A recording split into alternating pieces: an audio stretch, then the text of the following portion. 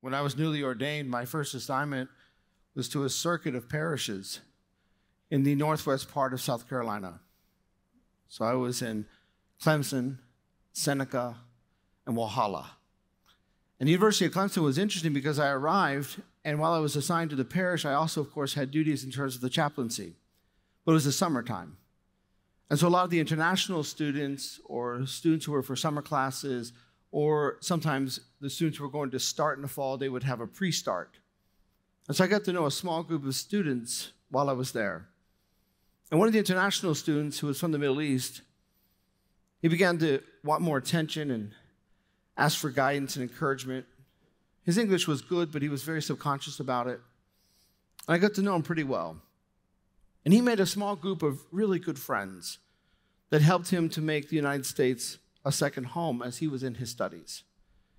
And he really was close to these friends, valued this friendship. And then the regular semester began, and all the other students came back. And these friends that he had made suddenly well, they didn't have time for him, they weren't available to him. They acted, in some cases, even almost embarrassed of him. And he couldn't understand it. And one, one occasion, he came to the chaplaincy just in tears. This is a strong, robust young man, completely broken. I said, What's going on? He said, Father, I don't understand. He said, I made all these friends. We spent so much time together. We became good friends, and now they, they don't want to hang out with me. They don't want to spend time with me. I don't understand. I said, okay. Let me explain it to you. In the West, we treat friendship like a commodity. We treat friendship very cheaply. And people will only spend time with their friends if they want to, or they don't have anything else to do, or they want their friends to entertain them, or they don't want to be alone. He was shocked.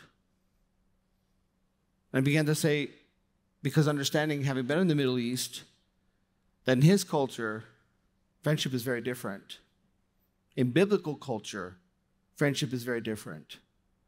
Friendship means relationship, friendship means family. Friendship means that we are together. It means even if I don't feel like it, I'm going to spend time with you. And no matter with whom else I might be, I will not be embarrassed of you. Friendship is of the heart. And I want us to go to that biblical understanding of friendship. Because, friends, as Christians, we have to retrieve this understanding of friendship. The Christian community cannot have holy fellowship among itself if there are not good friendships. And our moral theology crumbles. The way of the Lord Jesus is weakened if we do not have good friendships and holy fellowship within the Christian community. And of course, we look at the readings today and this powerful feast day. I'm so grateful that Pope Francis extended this feast day. He added other family members in order for this to be a, friend, a feast day of friendship.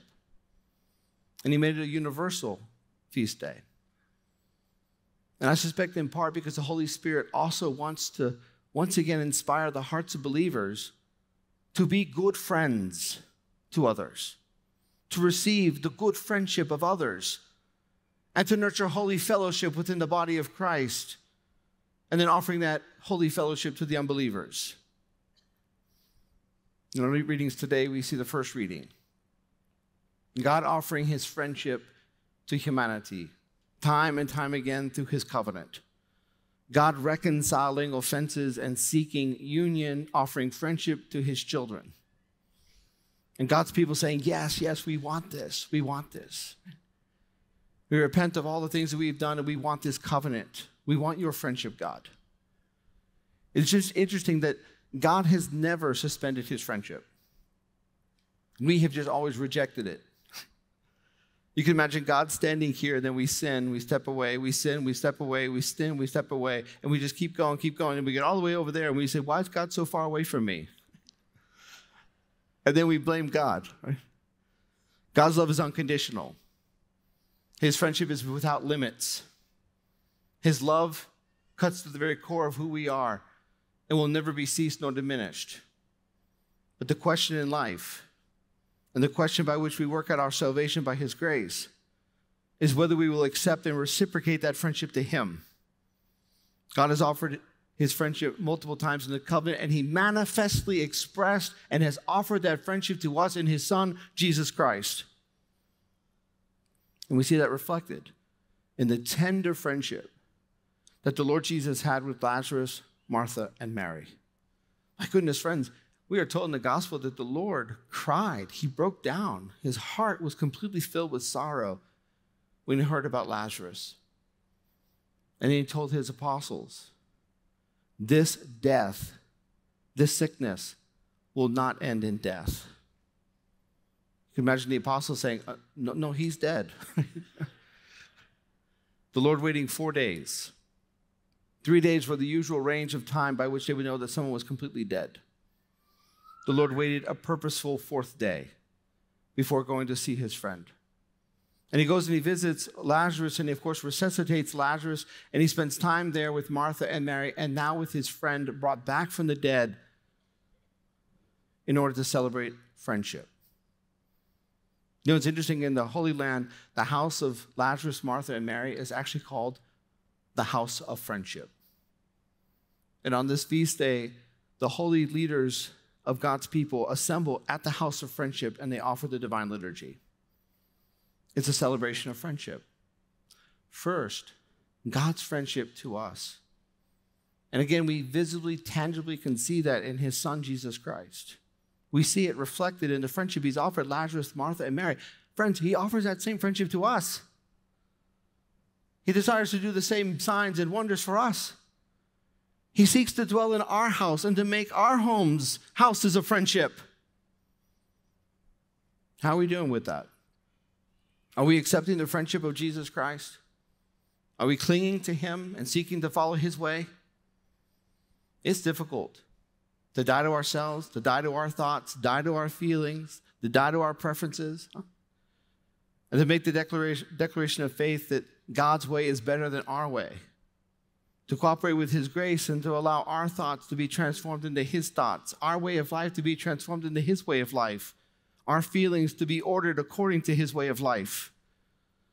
It's a total death, a total transformation of ourselves, and it happens through a friendship that is offered to us, a friendship we do not merit, we do not deserve, we could not expect. A friendship that is graciously offered out of God's sheer goodness and his immense love for us. And so this friendship begins with God offered to us in his son Jesus Christ. Now, once we understand the divine friendship, then we begin to understand the friendship we are called to have with one another. And suddenly, friendship is raised above commodity. Suddenly, we understand friendship means relationship, friendship means family. It's interesting that in the ancient world, only family ate at the table.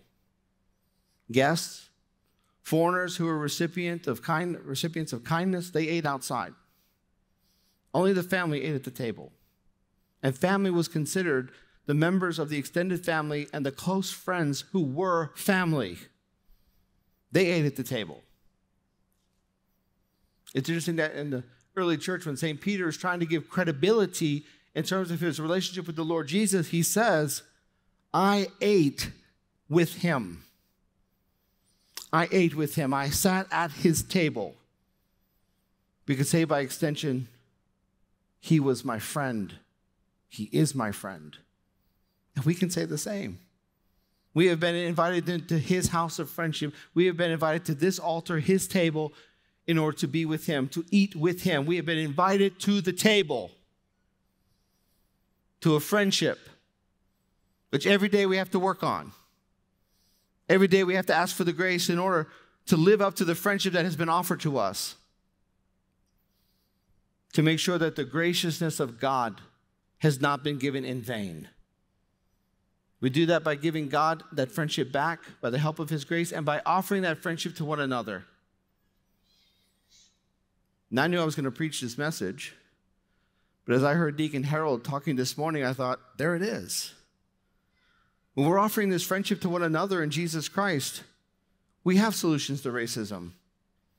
We have solutions to isolation. We have solutions to suicide. We have solutions to the problems in our, in our world today, in our social dilemmas, our moral questions.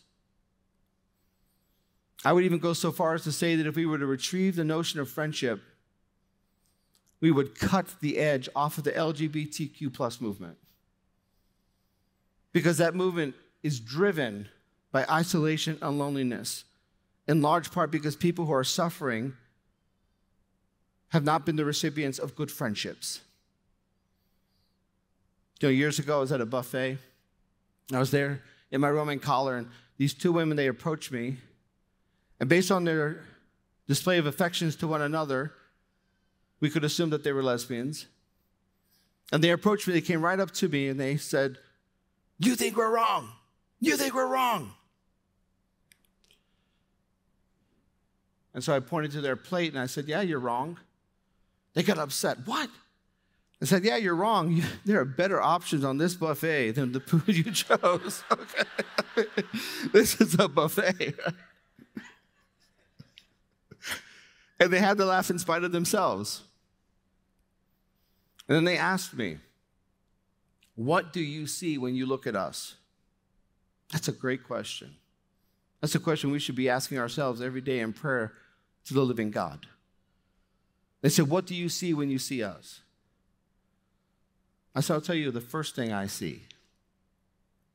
I see well beloved daughters of God who want companionship and friendship, who want to share the joys and the sufferings of life with someone who want to know that they're not alone. That's the first thing I see. Well, their hearts just melted. And then, of course, I went to go sit down, and of course, they followed me. so we had a little more conversation, and we had to address some of the social teachings and, and truths in terms of sexual expression. And we disagreed. But at the end, we ended up just having a nice meal and a great conversation, an exchange of friendship. And we're laughing and so on. And I thought, this is funny. You imagine other people looking, and saying, oh, look, it's the Catholic priest and the two lesbians.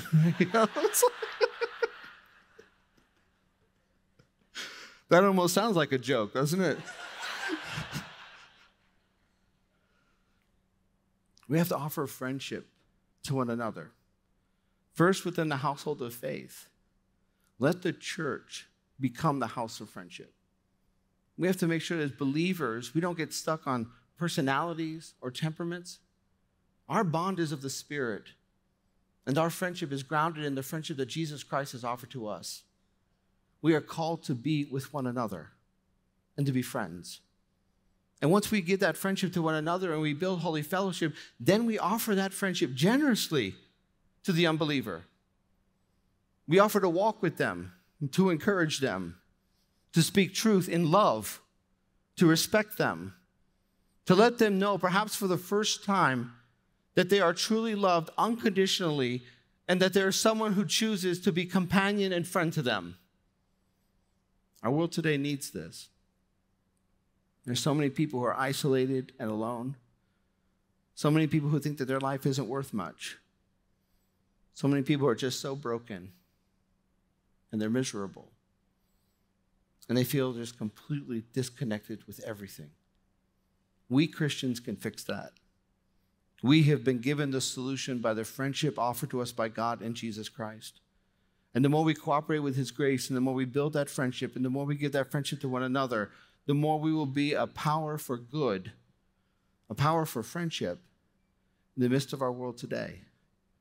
And the more we will find the moral issues, that edge will start to fade. Things will still need to be addressed, truth will still need to be spoken, but the edge would have been diminished because the rules and the way of the Lord Jesus have now been placed within a loving relationship, an exchange of hearts, one heart speaking to the other. And that's the friendship we're called to build, dear friends. First, within the household of faith, among believers, and then to the whole world.